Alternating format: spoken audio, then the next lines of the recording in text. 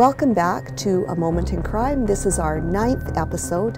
When we began this series, it was to dig back into the Leader Post archives and look back at some of the biggest crime stories uh, that this province has seen. And I think what is easily one of the biggest is now 50 years old. It began on January 31st, 1969, and it's easily one of the craziest page turners in Saskatchewan crime annals. We have uh, a poor woman found dead in a snowbank, a young man who goes to prison proclaiming his innocence. We have key witnesses who recant their evidence, DNA testing that doesn't match, and finally, the real killer going to prison. If you're fans of Netflix shows like Making of a Murderer, The Staircase, An Innocent Man, this is Saskatchewan's version.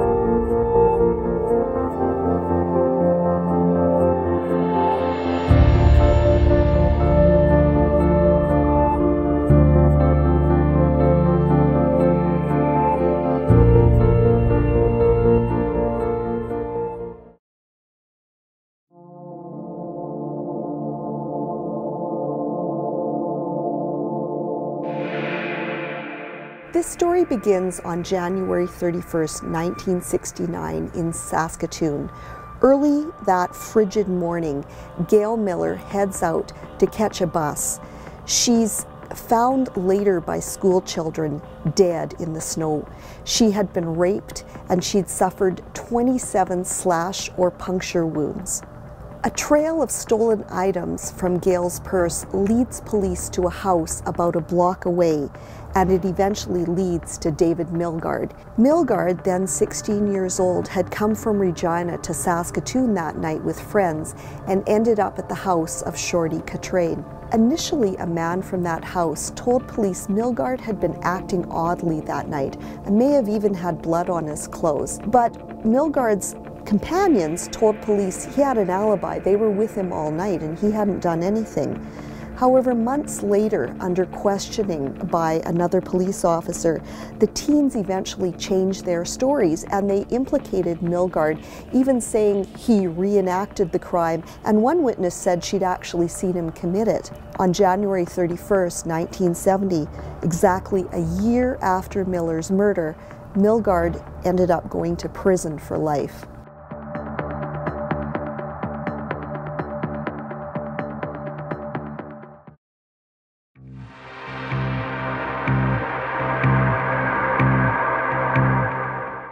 On the advice of his lawyer, Milgaard never testified and was largely convicted on these very incriminating statements from his companions. There were a series of appeals, but without any success, and Milgaard remained in prison.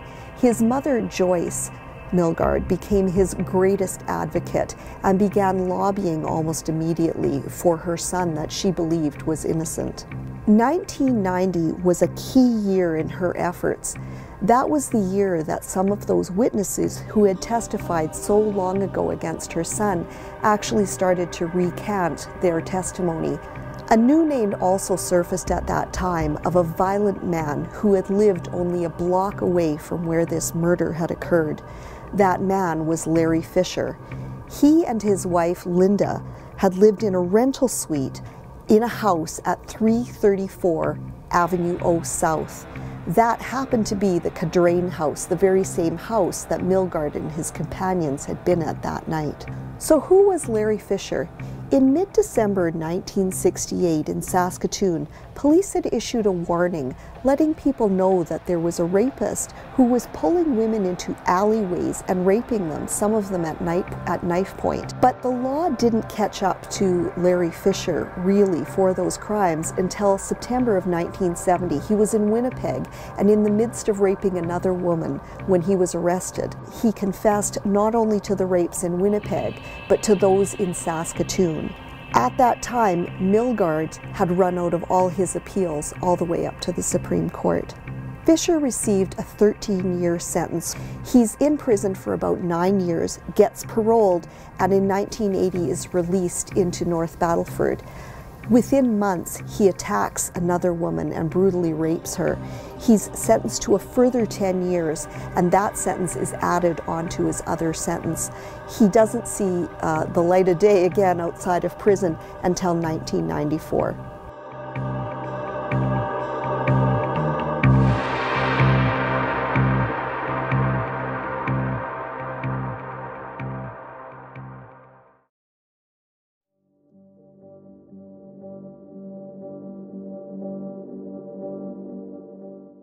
Meantime, Milgaard is languishing in prison, still proclaiming his innocence. His mother, uh, Joyce, and joined by her lawyers, uh, David Asper and Hersh Wolch, continue to lobby the government to reopen this case. And those efforts finally come to fruition in 1991. Then Federal Justice Minister Kim Campbell orders the Supreme Court to review the case. In April of 1992, the Supreme Court finds Milgaard had a fair trial back in 1970, but all of this new evidence about Fisher could have made a difference to the uh, verdict in that case, and it quashes his conviction. The ball is now in the court of the Saskatchewan government, who could now retry David Milgaard on the charges. Then Justice Minister Bob Mitchell says they won't uh, retry the case. They enter a stay of proceedings, but Mitchell also refuses to hold an inquiry or uh, even address any compensation for Milgaard. After serving 23 years in prison, Milgaard is finally released in April of 1992, the same month the uh, Supreme Court brings in that decision. A month later, I met with him in Regina. He was here visiting his brother and some of his supporters. And I remember talking to David and, and him talking about how he felt like he was in a legal limbo because even though uh, his conviction has had been quashed, people didn't yet see him as an innocent man. I remember him saying to me that what he really wanted to do was make it clear to everyone that he didn't kill anyone, and he was hoping for an inquiry to achieve that. In the years that followed, the media spotlight really turned towards Larry Fisher, who looked like the primary suspect in Gail Miller's case. Larry Fisher served his full sentence and didn't get out of prison until 1994 for all those sex crimes he had committed. Larry Fisher was very bitter about this media glare that he was under, and he told Star Phoenix reporter Warren Goulding in 1994 that, quote, you guys are killing me.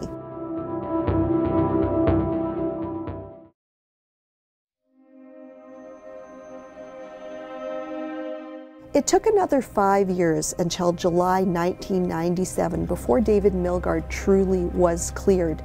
There had been several attempts to do DNA testing, but the technology just wasn't advanced enough to get a conclusive result. Eventually, everything is shipped to a lab in England. And finally, in 1997, those results come back.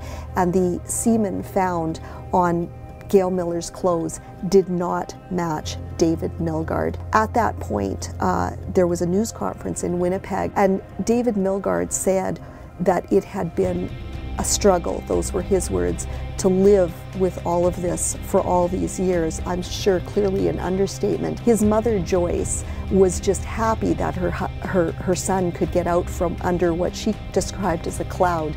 After that, the cloud shifted to Larry Fisher, and within days of that announcement about the DNA testing, he was arrested for the murder of Gail Miller.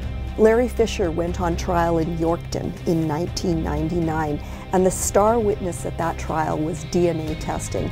Those results that had come back from those DNA tests showed that very conclusively it had been Larry Fisher who had killed Gail Miller. An expert said there was a 1 in 950 trillion chance that that DNA sample had come from anyone other than Larry Fisher.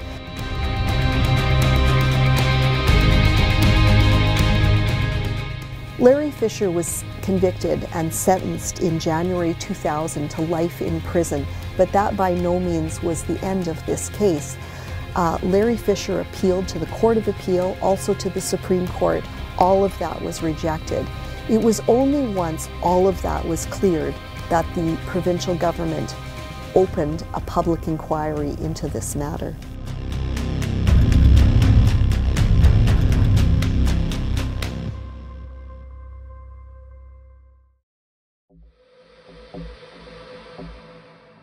The inquiry that David Milgaard and I had talked about back in Regina in 1992 finally got underway in Saskatoon in September of 2005, and it would be another three years before the final report was, was released.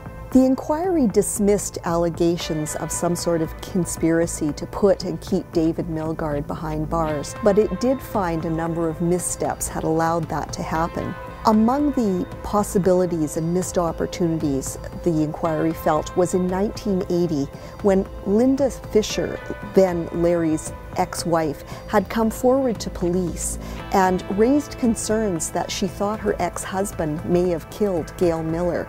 One of the other uh, criticisms in the report came upon a Calgary police officer who had interrogated and eventually got those false statements from some of the witnesses that became so key in convicting David Milgaard. David Milgaard never returned to Saskatoon when that Commission of Inquiry report was brought in.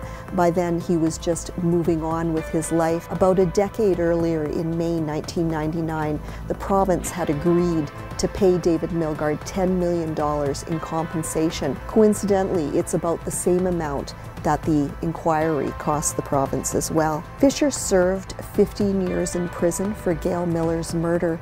He died in a BC prison in June of 2015. Ironically, the name of the person who wasn't the killer is perhaps even more well known than the person who actually committed the crime. This case shook the very foundations of Saskatchewan's justice system.